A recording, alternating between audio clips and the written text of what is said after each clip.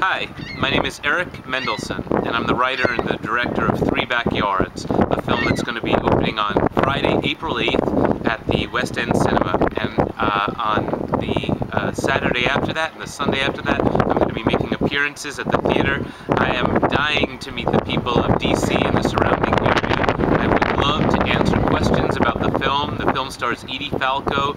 Uh, it is a, a, a film that uh, I made in, in very many respects by hand and you'll see uh, what I mean uh, when you see the film.